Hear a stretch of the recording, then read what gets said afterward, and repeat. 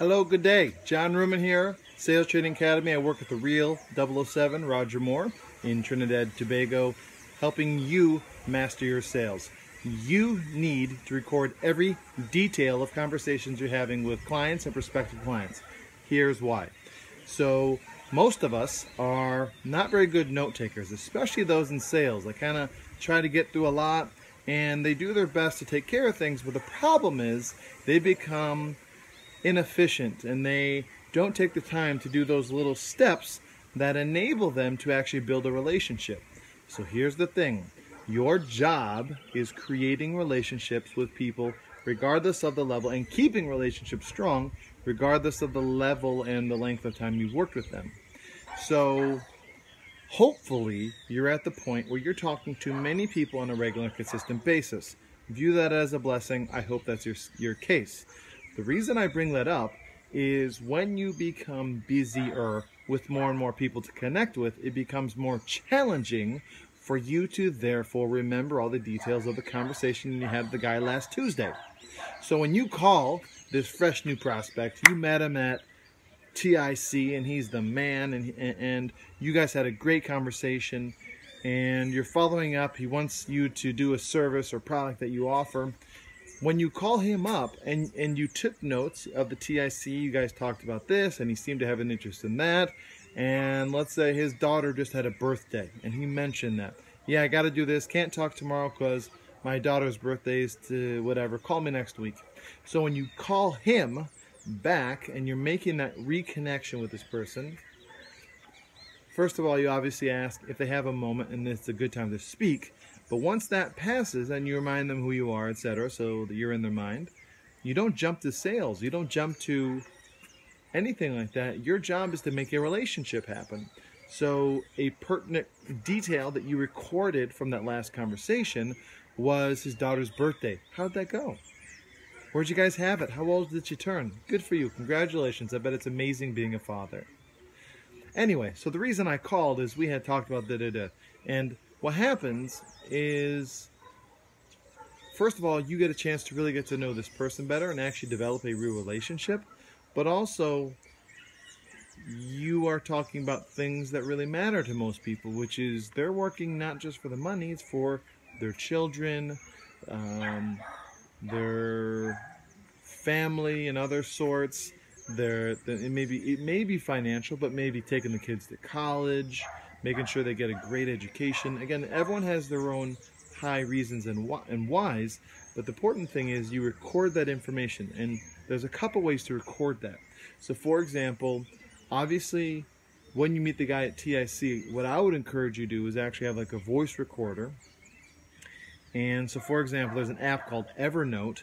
Evernote is amazing, but I'll tell you one of the cool things Evernote can do is you can record, you can take a snapshot of this prospective client's business card in Evernote. Evernote while you're at, let's say, TIC, which uh, which in Trinidad is just an annual, really big convention, and you take a picture of this person's business card, and then you can record a audio recording in that same note.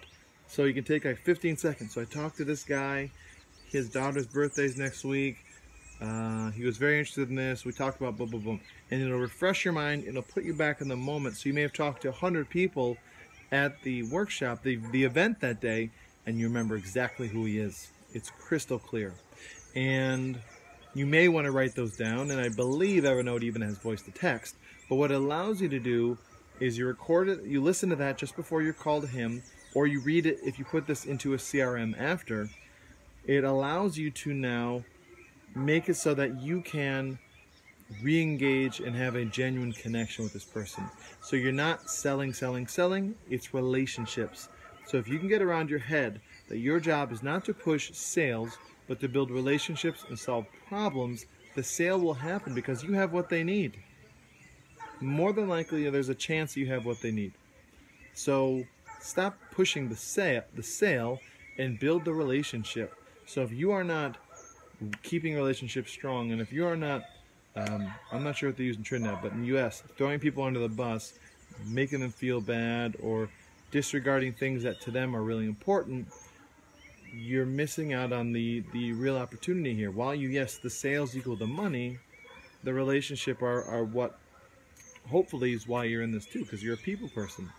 So take the time, get the details, write down, record the details in a CRM, audio note, however you're going to do it, piece of paper, but don't lose the paper. That's why the recording on your phone is great, because it also stores it on the cloud. That way you have the information for when you follow up next time. So make sure you have a good follow-up tracking system. That's always helpful. So if any of this is of value to you, this Sunday, which is the 15th of July, from 2 p.m. to 5 p.m., Roger and I are having a cold calling masterclass, which we will help you to create the phone script that you're calling on initially, and also to help you teach tonality. So this will be a customized script just for you.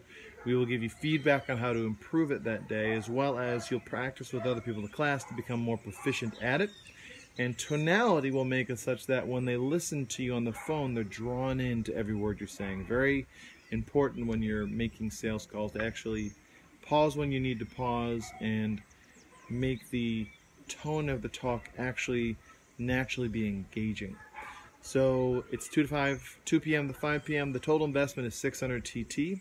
Most people, probably you, who are watching this and want to take that class, will also um, want to take our six-week course. So what we're doing, this is our most popular module, is of the six modules in the main course, is we will put 400 of the $600 investment towards the class in September, which is the 13th of September. It's six Thursdays in a row starting in the 13th of September.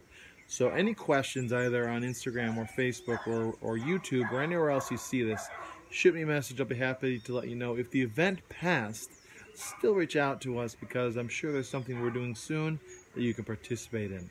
So thank you. I would love to hear your feedback as to what you do to record what you're doing, whether it be CRM, audio, any sort of tools and trick, tricks or tips that you have.